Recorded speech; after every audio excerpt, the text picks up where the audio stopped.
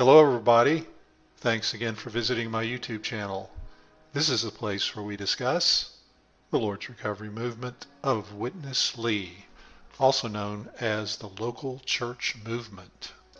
Well, things have been quiet lately as far as I know, but the co-workers in the Lord's Recovery in North America have put out some new articles on shepherdingwords.com and several of them are repetitive. They are banging the drum of the so-called local ground, which I've shown again and again is not a reliable biblical concept and in fact is little more than a controlling mechanism. It is a mechanism they use to affirm themselves and disaffirm or discredit anybody else.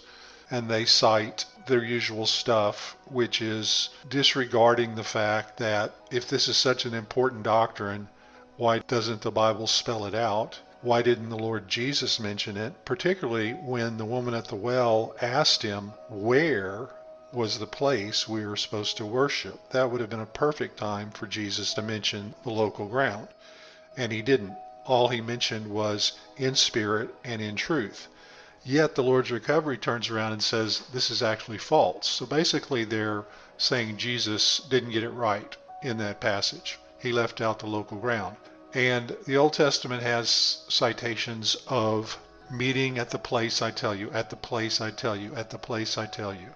And they equate that with the local ground because the Jews were supposed to meet at the temple in Jerusalem. Well, a couple of things about that. Number one, because it's a physical place in the Old Testament, does not mean it has to be a physical place in the New Testament. In fact, all the pictures practically in the Old Testament are types of spiritual realities, not physical realities. Number two, actually, when Jesus came, the Jews had taken up the practice of meeting in synagogues and worshiping in synagogues, not in the temple. And Jesus himself actually attended a synagogue and made one of his most famous declarations in a synagogue when he stood up and cited the verses in Isaiah about how the Spirit of the Lord is upon me. And Jesus honored the practice of meeting in the synagogue and he did it himself. Well, synagogues weren't prescribed in the Old Testament. If the practice of worshiping God was only supposed to take place in the temple, then why did the Jews meet in synagogues and why did Jesus affirm it? And yet they're insisting that it's the only valid way to meet as a church, and that the body of Christ cannot be built up otherwise. If you really look at it and think about it, it doesn't make any sense. Number one, they're saying there have been no real churches for 2,000 years hardly, except theirs. Another point is they never affirm any other group other than the groups in their movement as churches, even though some other movements meet as the church in the city, but they never affirm those people. So this is problematic. They're constantly hammering this point about you got to be here, you got to be with us, and don't listen to anybody else but us. This is what they do. And the question, as I've asked many times, is is this the way God would do things? Would He set up this tiny group of men as leaders and give them the authority to say, you people don't need to listen to anybody but us? I've come to the conclusion that doesn't make any sense. It doesn't even make any sense according to their own history because their whole movement began by not listening to others. And this gets into another article about the body, and this is the one I want to focus on. It's entitled Being Safeguarded by the Discernment in the Body. Their articles are longer than they need to be, and they're constantly interspersed with these comments that are misleading. For example, let me just start at the beginning of this one. They say, Those who bear responsibility in the ministry, the work, and the churches in the Lord's recovery have a biblically mandated responsibility to protect the flock. Okay, all leaders are supposed to protect their flock. Nobody argues with that. But right away in this first sentence, they're misleading you because they say, in the Lord's recovery. Little r, as if the Lord's recovery is a real thing of God. God has a recovery and they are it. Well, again, I will tell you that nowhere in the Bible is there mention of a Lord's recovery or that we need to be in it or that somebody can say they are it. they talk about the Lord's recovery as if it's really something of God in the sense of mandated directly by God and part of his eternal purpose. Well, if that's true, then why is the Lord's recovery never mentioned in the Bible at all? The Bible mentions many things. It mentions Adam and Eve, it mentions Abraham, it mentions Moses, it mentions David, and mentions Jesus, of course, and it mentions the church, and then it mentions the kingdom of God. It never mentions the Lord's recovery. And yet they talk about the Lord's recovery as if it is in the category of those other things, where God was actually doing something that's recorded in the Bible and mandated. We are in the church age. The only thing that really exists in this age to God is the church, and the church is all of us. And we are all in the church. And ministries are part of the church. You can be in a ministry, or you can be in a church, or you can be in both. They complement each other. They're different types of organizations, but they are organizations. All practical churches are organized, which makes them organizations. They aren't just organizations, but they are organizations, as are ministries. And so the dichotomy between organism and organization is a little bit disingenuous and misleading. Yes, there is an organic factor, but there's also an organized factor. Everything isn't done spontaneously in the church. But right away in this first sentence, they're misleading you because they mention the Lord's recovery and it's not a biblical idea. So let's continue. In performing that duty, they may advise the saints, meaning the members of the church, not to read writings in print or on the internet that attack the local churches and the ministry of Watchman Nee and Witness Lee. So they're saying performing their duty of shepherding the flock is to advise people not to read anything that attacks the local churches and the ministry of Watchman and Witness Lee. Well, the word attack is misleading because to them, anything that questions Watchman Nee or Witness Lee is an attack to them. It's attack, which means that Watchman Nee and Witness Lee are beyond reproach. They cannot be questioned. They cannot be scrutinized. They cannot be compared to other leaders and teachers down through history. They can't be treated, for example, like we would treat any other teacher or leader down through history, like Martin Luther or John Nelson Darby or anybody else down through history. They are different you cannot question. And so basically they're leading into this thing of once again they're trying to control the thinking and behavior of their members and they are using the excuse of shepherding as an excuse to do it.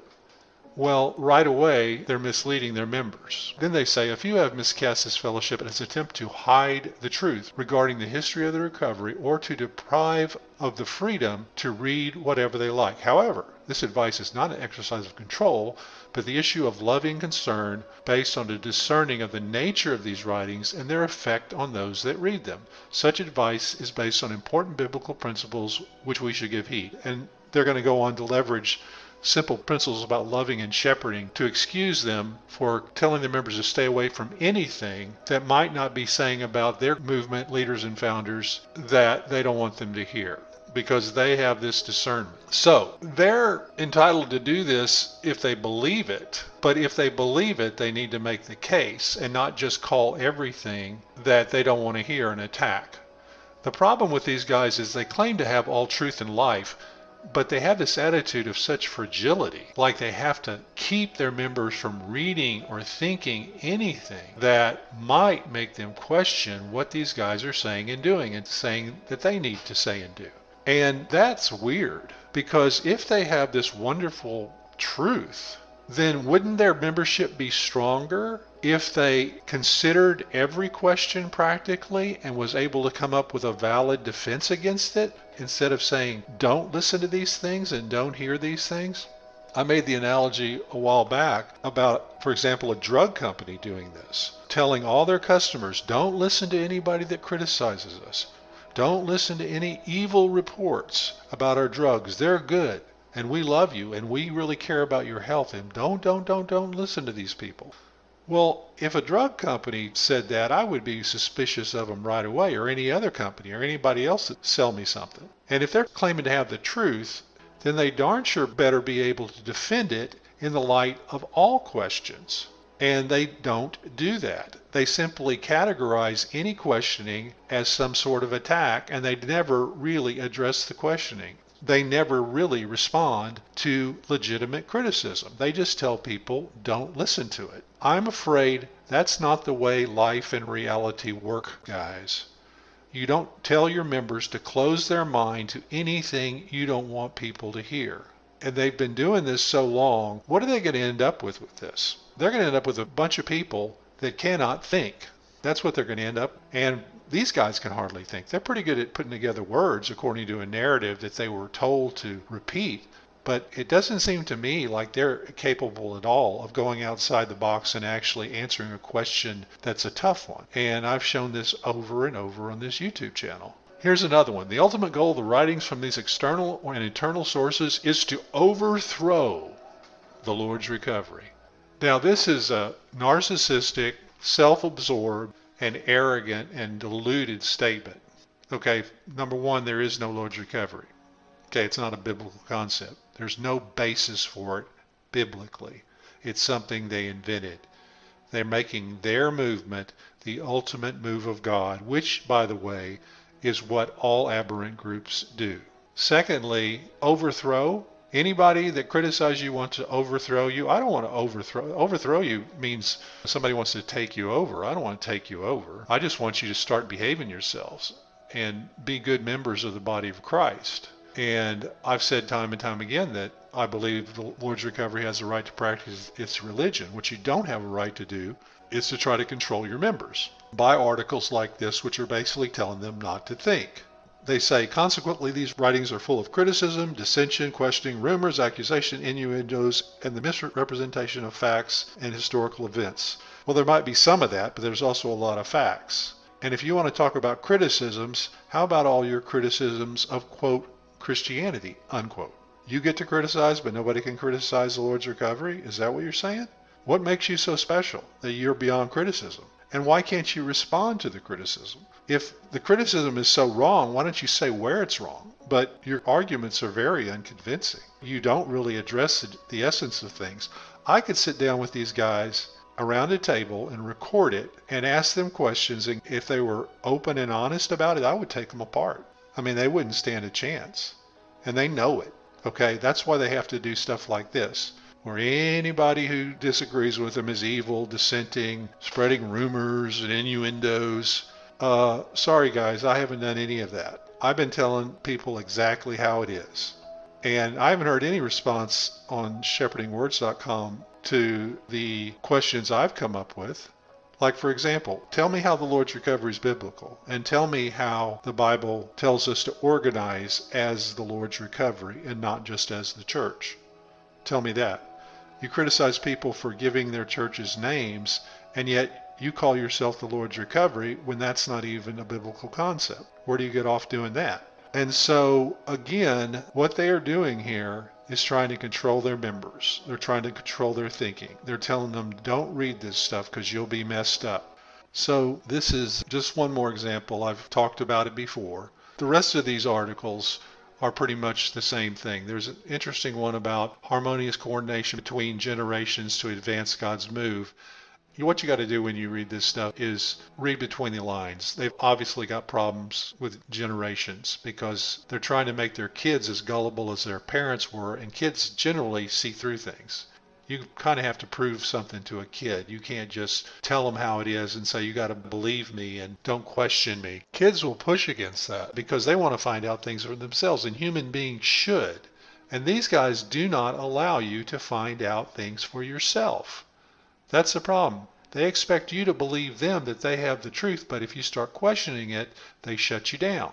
Okay, when you encounter somebody like that who claims to have the truth and can't sit down with you and answer every single question you have to their satisfaction, then that person doesn't have the truth. He is trying to control you, and that's what they're trying to do here. Another sentence. Some may argue that they need to be informed. No, you don't need to be informed. And draw their own conclusions. No, you don't need to draw your own conclusions about the matters involved. But this is also a subtle ploy of the enemy. I tell you what, these guys don't know the enemy from a one-eyed alley cat. I'm telling you. And sometimes I think they don't know God at all. Okay? Such an individualistic view may be valued in modern culture. As members of the body of Christ, we exist according to a very different principle. Well, wait a minute. Didn't Watchman Nee exercise a very individualistic attitude when he started the Lord's recovery?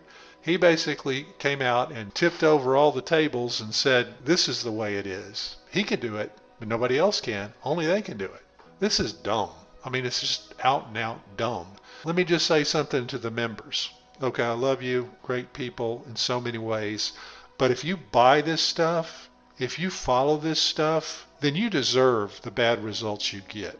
You asked for it. I'm not saying you don't need to cooperate with your church. I'm not saying you don't need to be a loving and cooperative member, but they're talking about something very different here. They're not talking about that. They're talking about you need to shut up and listen to us and don't argue with us, or the devil's going to get you. I tell you, if I was in a church and my pastor started talking like that, I'd leave. Like that. Because that is not the way you get to the truth. Yeah, you listen to people. Yeah, you esteem others more highly than yourselves. Yeah, you try to sense the Spirit speaking. But when somebody just tells you, listen to us and don't listen to anybody else or you're going to be hurt by the devil, those people are cuckoo. They are cuckoo. And this is cuckoo stuff. And I'm sure they categorize me as the same thing. But I'm sorry, if you buy it, let me ask you this. If they do go bad, if they are wrong, and you've got this attitude, when are you going to find that out? And when are you going to make up your own mind and change your mind? Okay, at what point, what do they need to do for you to say, okay, it's over, we're out of here? Because what they're saying is that's never going to happen. The whole principle they set up is you can't do that. You can never do it. They'll just continue to call whatever they do innuendo and false accusations and blah, blah. If they've got so much truth, which they claim to, it ought to be able to stand up to scrutiny. That's the way reality works. And if you think it works any other way, then you deserve what you get. You deserve what you get. This message is for people with open minds, big boys and big girls who don't buy this kind of CRAP, because that's what it is. Okay, I've been going on a while. I might follow up with something with some of the other articles, but all these articles, again, this shows their desperation because just about everything they print is about shut up your mind, don't listen, don't listen to anybody but us, blah, blah, blah, block it out, block it out. We're trying to protect you because we love you. Well, just because they claim to love you doesn't mean they know what's best for you. They may love you, but that doesn't mean they know what's best for you. It's your life. If you want to turn it over to these guys, Ron Kangas and Benson Phillips and Minoru Chen, you want to make them your God instead of Jesus and the Holy Spirit, then that's your business. But don't say I didn't warn you. Thanks for listening. Take care.